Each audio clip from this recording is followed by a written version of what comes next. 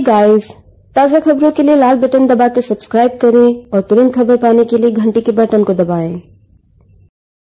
वक्त बदला, सोच बदली, लेकिन वक्त के साथ एक चीज़ नहीं बदली, वो है एक अटूट विश्वास, खूबसूरती का, एक अनमोल रिश्ता, खूबसूरती रतनलाल सी बाफना ज्वेलर्स, जहाँ विश्वास ही परंपरा है। शिव सैनिकों के साथ मंत्री जी ने देखी ठाकरे फ़िल्म। शिवसेना के संस्थापक बाल केशव ठाकरे के जीवन पर बनी ये फ़िल्म पिछले कई दिनों से चर्चा का विषय रही है।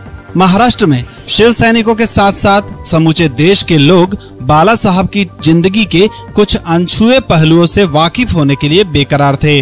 25 जनवरी को ये फ़िल्म रिलीज़ हुई है और जलगांव में भी शिवसेना के महानगराध्यक्ष शरद तायडे ने सभी शिव सैनिकों को शहर के थिएटर में पहले ही दिन फ़िल्म दिखा दी। आज जळगावमध्ये वंदनीय श्री बाळासाहेब ठाकरे यांच्या जीवनावर आधारित ठाकरे चित्रपट प्रदर्शित झाला. जळगाव महानगर प्रमुख या नात्याने मी जळगाव मध्ये एक सिनेमागृहात पूर्ण तिकीटं दोनशे एकसष्ट तिकीटं आम्ही ॲडव्हान्स बुकिंग केले होते. हा चित्रपट बघण्याकरता गेले.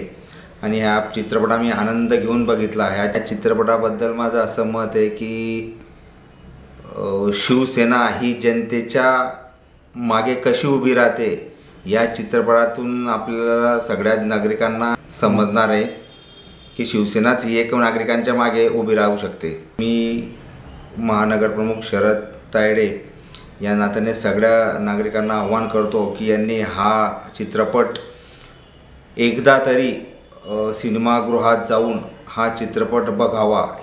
इस फ़िल्म को देखने मंत्री गुलाबराव पाटिल भी पहुँचे थे। सभी शिव सैनिक शहर के शिवसेना कार्यालय से जुलूस के रूप में सिनेमा घर पहुँचे और फ़िल्म का आनंद लिया। सभी शिव सैनिक शरद तायडे का आभार भी व्यक्त कर रहे थे कि उन्होंने बाला साहब की यादें और मज़बूत कर दी हैं।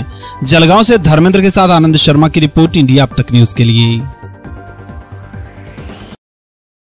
हे गाइस ताज़ा खबरों के लिए लाल बटन दबाकर सब्सक्राइब करें और तुरंत खबर पाने के लिए घंटी के बटन को दबाएँ।